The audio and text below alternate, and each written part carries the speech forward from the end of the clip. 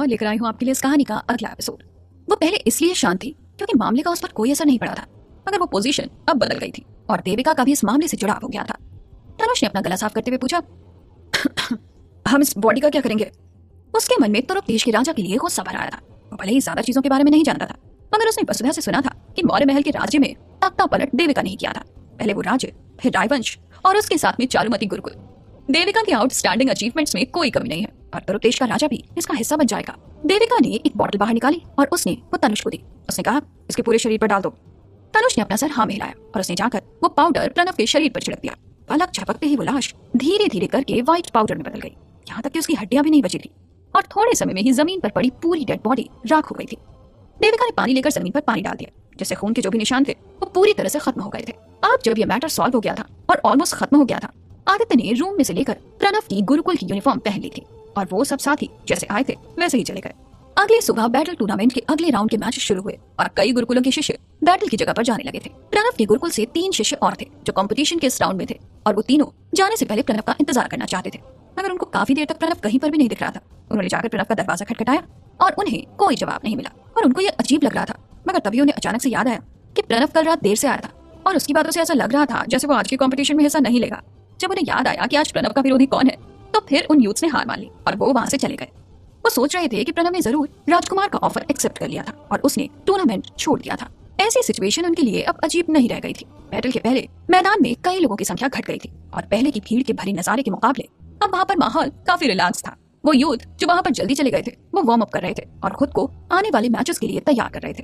वो लोग वहाँ पर एक दूसरे से बात करके एक दूसरे को जानने लगे थे। बैटल के स्टेज के एरिया में अब भी काफ़ी शोर हो रहा था। मगर जैसे ही एक इंसान पहले मैदान के दरवाजे पर आया तो वहाँ पर पूरी तरह से शांति छा गई थी। उन सब की नज़रों ने मुड़कर कार्तिक को वहाँ पर आते हुए देखा। कुछ लोगों ने कार्तिक को वहाँ पर आते हुए देखकर कहा, ये यहाँ पर क्यों आया है? बैटल टूर्नामेंट जब से शुरू हुआ था, तब से कार्तिक ने एक बार भी लड़ाई नहीं की थी और उसके सारे विरोधियों ने हर राउंड में सरेंडर कर दिया था। इससे वो शिष्य जो बैटल में अच्छा करने के लिए अपनी पूरी मेहनत कर रहे थे, वो काफ़ी नाखुश हो गए थे। वो जानता है कि उसको वैसे भी लड़ना नहीं है। तो फिर ये यहाँ पर आया क्यों है? क्या आज उसका सामना प्रणव से नहीं होना है? कुछ यूथ ने तेज आवाज़ में कहा, ये सही है मैं कल रात प्रणव के साथ ड्रिंक कर रहा था और उसने हमसे ऑलरेडी कहा था कि वो आज नहीं लड़ेगा। ये देखकर कोई भी बता सकता है कि कोई इंसान राजकुमार के पास रोते हुए गया और उसने राजकुमार से उसके विरोधी के साथ डील करने के लिए कहा। क्या लक है? हम लोगों का ऐसा भाग्य नहीं है। वहाँ पर दोनों तरह के लोग थे, जो कार्तिक से ईर्षा करते थे और उसकी निंदा करते थे। वहाँ पर भीड़ में अवनी के चेहरे पर सलबटे आ गई थी। चिंतित होकर कार्तिक को वहाँ पर आते हुए देख रही थी। मैचेस अभी शुरू भी नहीं हुए थे और कार्तिक पर ऑलरेडी सबका ध्यान था। सबकी नज़रें उस पर टिकी हुई थी, मगर वो अब भी धीरे धीरे चलकर वहाँ पर आ रहा था। अगर उस पर पड़ रही सबकी नज़रों से, उस पर जरा सा भी असर नहीं हो रहा था। कुछ लोग लकी पैदा होते हैं, भले ही उनको चाहे कुछ ना हो और वो कुछ ना करें, लेकिन उनके पास कोई ना कोई होता है, जो उनके लिए रास्ता बना दे। हम सब की तरह नहीं, जहाँ पर हमें बेरहमी से लड़ना पड़ता है, और अपनी जान को खतरे में भी डालना पड़ता है। अगर हमें तब भी वो हासिल नहीं होता, जो कुछ लोगों को सिर्फ़ कुछ शब्द कहने पे हासिल हो जाता है। उनकी टोन काफ़ी ईर्ष्या से भरी हुई थी लोग कार्तिक को देखकर ज़ोर ज़ोर से खुशफुसा रहे थे। उनकी आवाज़ इतनी तेज थी कि उनके पास खड़े लोग साफ़ साफ़ उन लोगों को कार्तिक के लक के बारे में खुशफुसाते हुए सुन सके। भले ही उनके शब्द काफ़ी चुन चुन कर कहे हुए थे, मगर उन्होंने वो शब्द कार्तिक के आगे कहने की हिम्मत नहीं की। आफ्टर ऑल वो शिष्य जिसका खून हुआ था, उसका नाम कार्तिक से जुड़ा हुआ था, और उनको दिव्यांश की पोजीशन की पावर और अथॉरिटी से डर है। मगर वो डर उनकी ईर्ष्या में सिर्फ़ घी का काम कर रहा था। उसके बाद टूर्नामेंट फाइनली शुरू हो गया था, और पहले मैच से ही बैटल स्टेज से लड़ाइयों की आवाज़ें सुनाई देने लगी थी। यूथ अपनी पूरी क्षमता दिखाने के लिए लड़ रहे थे, वो उम्मीद कर रहे थे कि उनको टूर्नामेंट में कोई जगह मिल जाए। एक यूथ जो कि मंत्रा गुरुकुल के लोगों से काफ़ी फैमिलियर था, वो आकर अवनी के बराबर में खड़ा हो गया। वो बहुत गुस्से में लग रहा था और उसने कहा, अवनी, क्या आपको नहीं लगता है कि लड़का कुछ ज़्यादा ही कर रहा है? उसने इतना घिनौना काम किया है और अब भी यहाँ पर आने की हिम्मत कर रहा है। जंग के पहले मैदान में उनके बैटल के कई राउंड हुए थे, कई लड़ाइयाँ जो हुई थी। उनमें कई कंटेस्टेंट्स ने अपनी आउटस्टैंडिंग स्किल्स और पावर दिखाई थी और उनमें मंत्रा गुरुकुल से अवनी को सबसे पावरफुल फाइटर माना जाता था। अवनी सिर्फ़ मंत्रा गुरुकुल की टॉप की शिष्य नहीं थी वो सहस्त्र जीव नगर की राजा की बेटी भी थी, जिसकी वजह से उसके स्टेटस और पोजीशन की तुलना बहुत कम लोगों से होती थी। नेचुरली अवनी जंग के मैदान में जीतने के लिए सबकी फेवरेट थी। हालाँकि अवनी के अलावा एक और शिष्य था, जिसके पास टॉप टेन में आने का मौका था, और वो था कार्तिक। मगर सबकी कार्तिक के जीतने के चांस को लेकर काफ़ी अलग फीलिंग्स थी। वो उसके लिए जरा सा भी प्राइड फील नहीं कर रहे थे।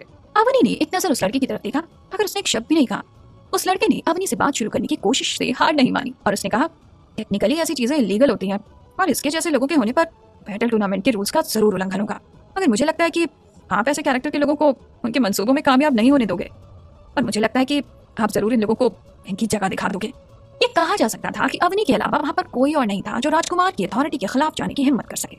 वहाँ पर सब बस ये दुआ कर रहे थे कि कार्तिक का जल्द ही जंग में अवनी से सामना हो जाए और अवनी के उसको हराने पर वो राहत की सांस लेंगे। अवनी ने अपनी जीप को अपनी दांतों के बीच में दबा लिया था। वो उस युद्ध से कुछ नहीं कहना चाहती थी। वो उस समय काफ़ी हैरान महसूस कर रही थी। उसने अपने कदमों को थोड़ा पीछे कर लिया था। मगर उसकी नज़रें कार्तिक पर ही टिकी हुई थी। उसकी नज़रें उत्सुकता और चिंता से भरी हुई थी। एक एक करके मैचेस हो रहे थे और जल्द ही कार्तिक की बारी आ गई। क्राउड में किसी को इस बात पर विश्वास नहीं था कि कार्तिक स्टेज पर आकर लड़ेगा। सबने अपनी नज़रें कुछ बार पूरे जंग के मैदान में घुमाई, मगर उनको प्रणव कहीं नहीं दिखा और उनकी नज़रों में तिरस्कार और निंदा भराई थी। जैसा कि सोचा ही था, ऐसा एक बार फिर हो गया। कार्तिक ने अपनी नज़रों को नीचे किया और उसके चेहरे पर मुस्कान आ गई थी। जैसे कि वो किसी चीज़ का अंदाज़ा लगा रहा था। जब उसने नाम पुकारते हुए सुना तो उसने ऊपर देखा और वो चलकर बैटल स्टेज के ऊपर चला गया। तो आज के इस एपिसोड की कहानी में बस इतना ही। कहानी के अगले एपिसोड के साथ फिर मिलती हूँ आपसे। दोस्तों, मैं हूँ आज मोनिका और लेकर आई हूँ आपके लिए इस कहानी का अगला एपिसोड बैटल स्टेज के बीच में खड़े अनाउंसर ने कार्तिक को अपने साथ स्टेज पर खड़ा देखा।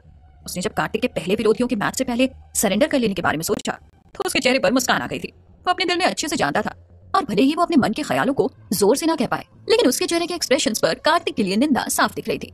वहाँ पर सबकी नज़रें कार्तिक पर टिकी हुई थी और हर बार जब भी कार्तिक स्टेज पर आता था, कोई भी उसका विरोधी स्टेज पर नहीं आता था। आज सब लोग सोच रहे थे कि आज भी वही होगा जो पहले से होता आया है, और वो जल्दी से एक घंटे की लिमिट खत्म होने का इंतज़ार कर रहे थे। वो चाहते थे कि समय जल्दी जल्दी बीत जाए, ताकि वो अगले मैच की तरफ़ बढ़े। सेकंड्स मिनट्स में बीत रहे थे, और वहाँ पर सब काफ़ी उतावले हो रहे थे।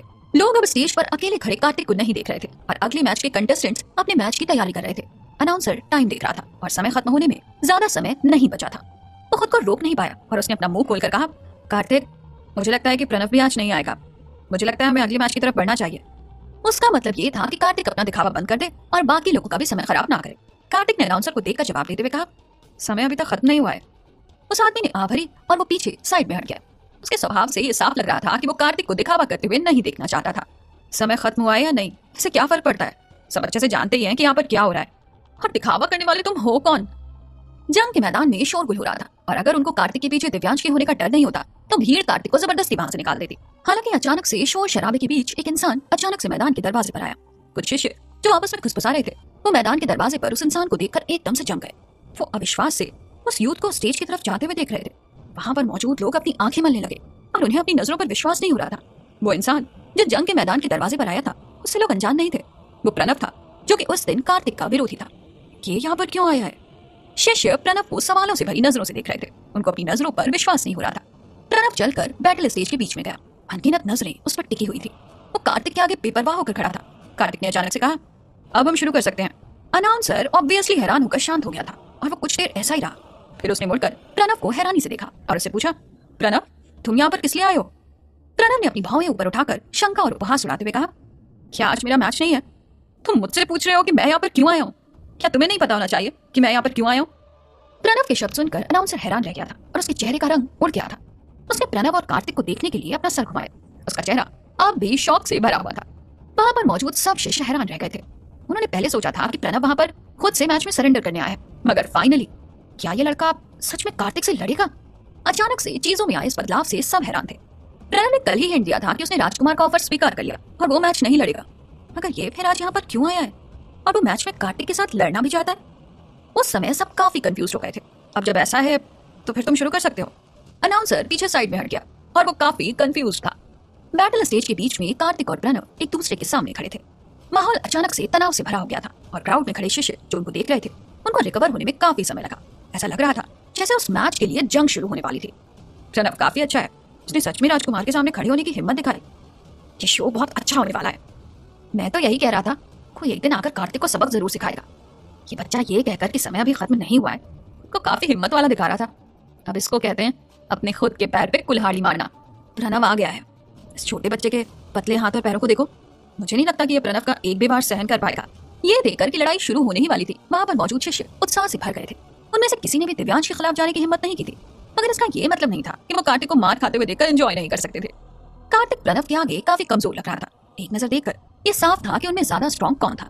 सब कार्तिक को पीटते हुए देखने के लिए उत्सुक थे।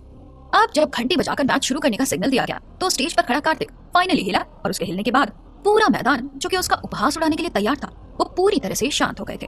सबकी नज़रें कार्तिक के शरीर से निकल रही हरी चमक को देख रही थी। उसके शरीर से निकलती तेज हरी शक्ति को देखकर सबकी नज़रें चौंधी आ गई थी।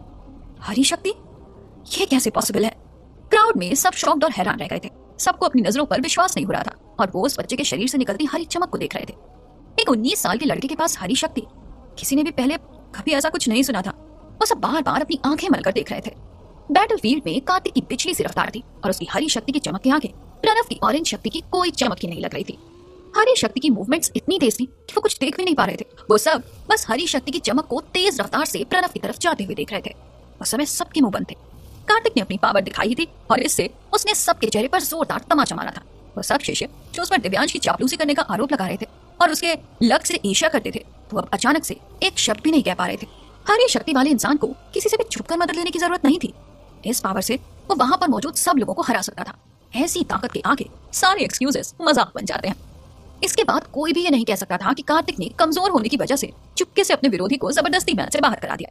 वो जो देख पा रहे थे, उससे वहाँ पर ऐसा कोई शिष्य नहीं था जो कि उसका सामना कर सकता था। अचानक से कोई भी एक भी शब्द नहीं कह रहा था।